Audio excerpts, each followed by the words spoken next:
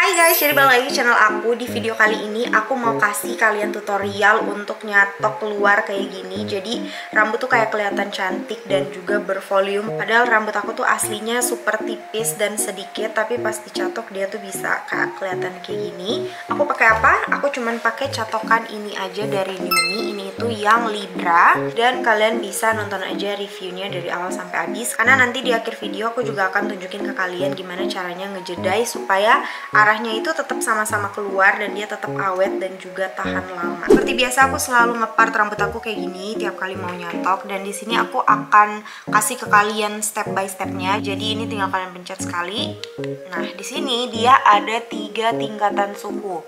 Ada yang 170, 190 sama 210. Nah biasanya aku itu pakai di uh, yang dua aja. Kalau kalian mau yang paling panas tinggal tekan lagi sekali. Tuh udah menyala tiga-tiganya berarti dia udah di suhu yang paling panas. Kalau kalian mau matiin tinggal pencet sekali lagi. Nah gitu ya ini aku akan langsung aja praktekin ke kalian jadi kalau misalkan kalian mau pakai itu sebaiknya untuk supaya dia nggak cepet ngelus kalian itu ambilnya tuh sedikit-sedikit jangan langsung kayak banyak dan ini aku akan catoknya tuh ke arah luar jadi caranya setelah kalian udah panasin si catokannya ini rambutnya itu dibawa ke depan. Taruh di depan kayak gini. Terus dikaitin ke salah satu pengaitnya gini. Habis itu tinggal kalian pencet tombol yang ke arah luar. Kalau di sini berarti kiri ya.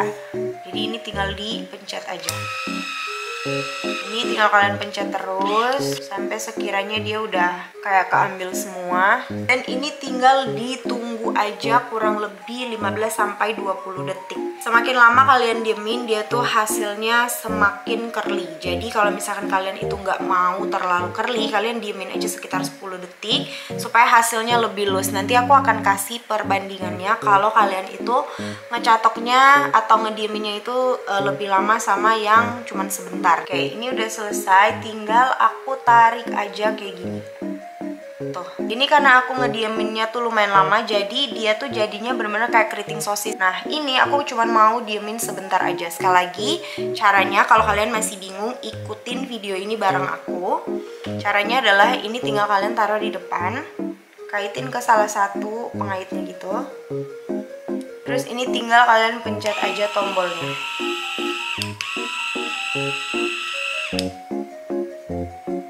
Nah yang sebelah sini mau aku diemin kayak sebentar aja nggak selama yang ini supaya kalian itu bisa ngeliat perbedaannya kalau misalkan didiemin lama sama yang enggak. Oke ini kurang lebih udah 10 detik.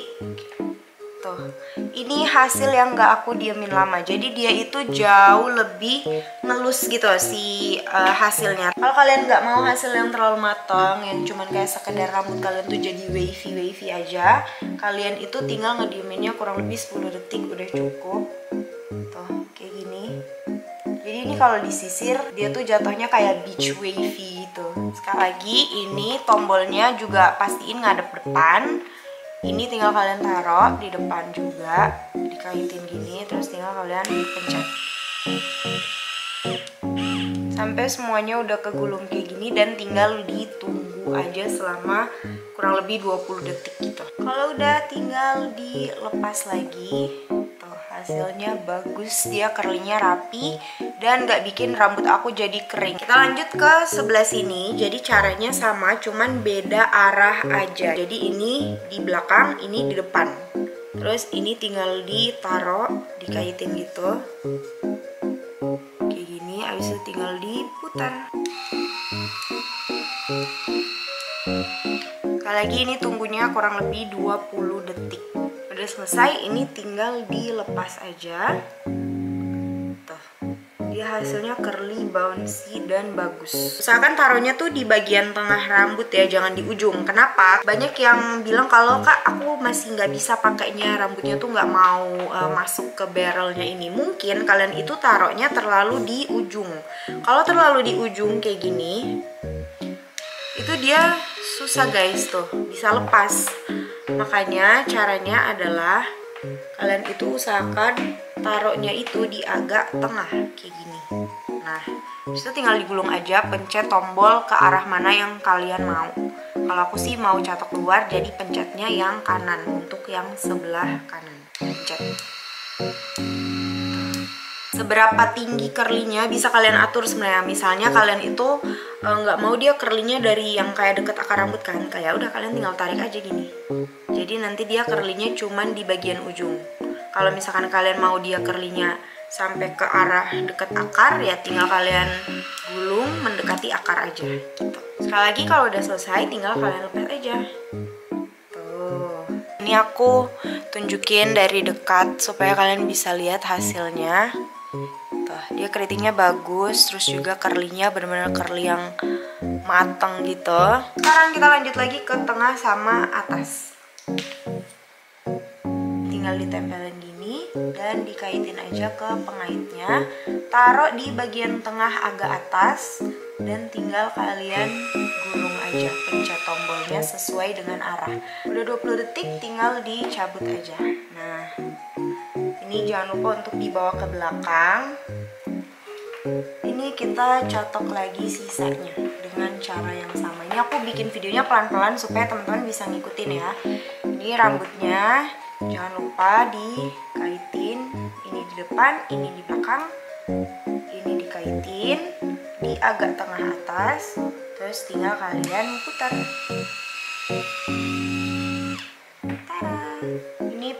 terakhir yang bagian sini. Sekali lagi caranya sama. Ini di belakang ini di depan ini dikaitin terus tinggal diputar kalau udah selesai tinggal ditarik aja. Ini yang sebelah sini udah jadi setengah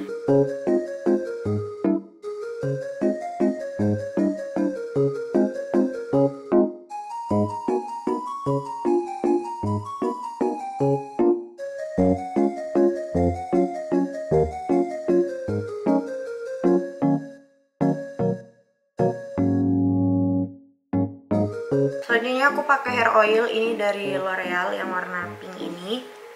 Aku pakai sekitar satu pump setengah aja. Dan tinggal diaplikasiin ke rambut yang udah dicatok curly tadi. Kalau udah kita masuk ke part terakhir ini rambutnya mau aku sisir. Tuh supaya dia hasilnya tuh lebih smooth lagi. Dibandingkan ini kan agak acak-acakan. Kalau disisir tuh dia jauh lebih rapi dan nyatu gitu nah Selain ini dia hasilnya bagus, dia juga lumayan awet. Jadi aku rekom kalian untuk beli ini. Ini harganya cuma 250 ribuan dan belinya itu di official store aja. Ini by the way ada dua warna, ada yang warna ungu sama yang warna pink. Karena aku lebih suka warna pink, jadi aku ambilnya yang warna pink ini. Jadi kalau misalkan kalian itu catok keluar kayak gini untuk mempertahankan si curly-nya itu keluar dan dia hasilnya tetap curly, bagus dan awet tahan lama, kalian itu ngejedainya ada cara khususnya kalian harus siapin dua piece kayak gini sebenarnya kalian bisa pakai catokan apa aja eh sebenarnya kalian bisa pakai jedai apa aja kayak jedai biasa kayak gini juga boleh. Cuman karena di dekat aku adanya yang kayak gini jadi aku pakainya yang ini. Nah karena dia ke arah luar ini kalian listen carefully ya. Jadi kalian itu perlu ngejedai kiri dan kanan itu beda. Jadi dibelah dulu rambutnya. Kayak gini udah kepisah dua bagian. Ingat yang kiri kita pakai tangan kanan kalau udah lagi ini kita jempolnya kita pakai untuk ngegulung pakai yang tangan kanan. Untuk rambut kiri pakai tangan kanan. Kita giniin dan siapin jempolnya. Kalau kalian mau belajar ikutin bareng aku sekarang. Kalau udah ini jempol tinggal kalian gulung. Set. Dikaitin ke jempol. Sekali lagi set.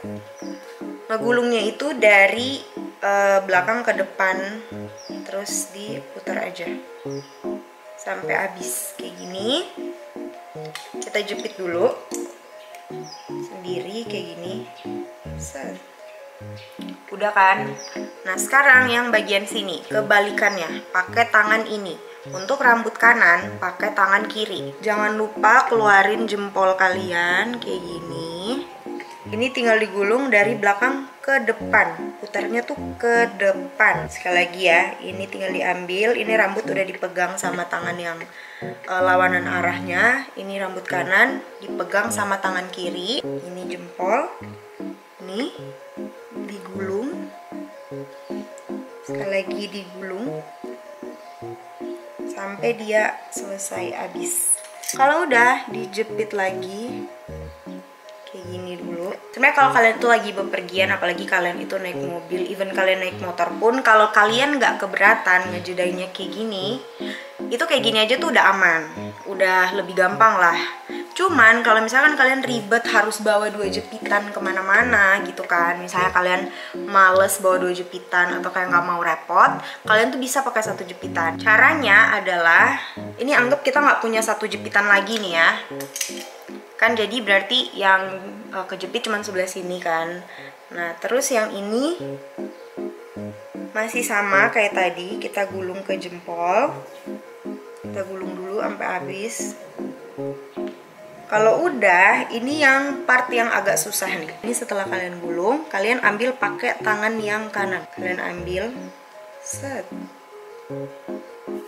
Kayak gini udah pindah tangan. Ini ya kalian satuin ini kalian satuin ini sama ini. Caranya adalah tinggal kalian ambil si jepitannya.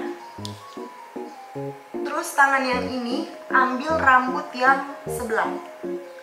Nah ini tinggal dibuka. Kalau udah ini tinggal dijepit deh udah kayak gitu. Jadi dia dari depan ya sama aja kayak kita ngejedai rambut biasa pakai satu jepitan. Cuman memang uh, kita harus nyatuin si kiri sama yang kanan tadi supaya dia tuh bisa dijepit pakai satu jepitan aja. Ini aku diemin dulu sekitar 10 menit supaya kalian bisa lihat hasilnya tuh kayak gimana. Oke ini udah 10 menit. Ini aku tinggal buka